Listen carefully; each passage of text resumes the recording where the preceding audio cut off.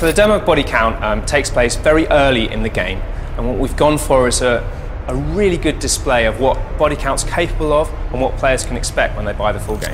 The Bodycount demo takes an early slice out of the game, which sees you going up against an African warlord, holding up in a shanty town, and lets you go in, destroy the environment, and really having fun with the core mechanics that we've got in Bodycount. When you play, you'll start out in you know, secret in this um, sort of outlet flow pipe underneath a large freeway.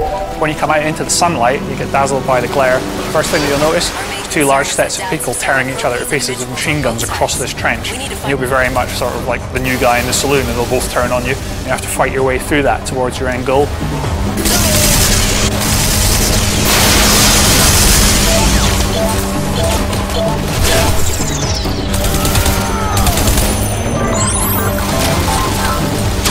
Realise that the lean mechanic that we've got, the shooting experience, the destruction, all hang together in quite a cinematic, satisfying way when you're playing the game.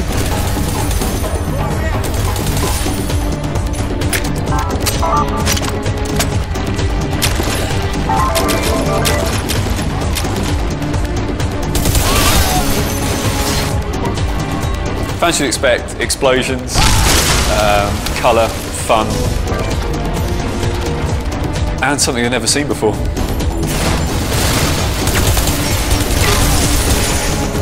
Fans should expect a lot of mayhem, a lot of destruction, fun, fast-paced, arcade action. Very uplifting, fun, colourful game, and much more of an A-team experience than some sort of dour, you know, self-obsessed, self-important thing. This is a fun game. If you want to have fun, play Bodycount.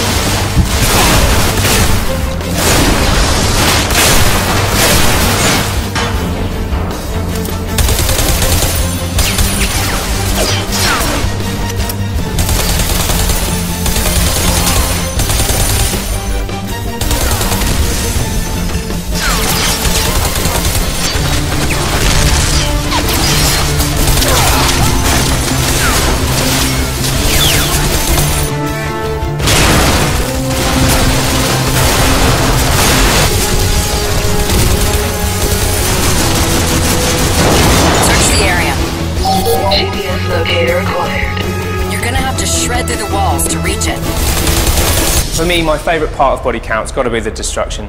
Um, it's been a challenge to implement it technically and also a challenge from a design perspective, but I think we've really hit something unique.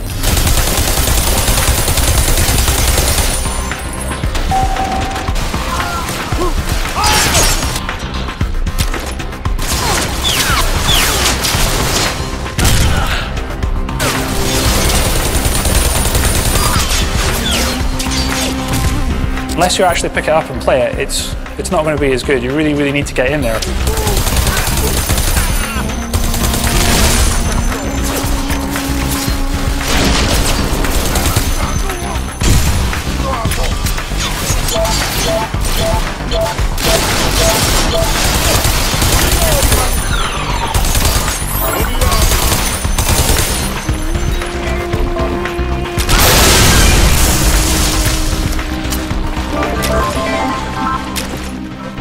Ultimately, we have created one of the most visceral gunplay experiences I've ever seen in a game.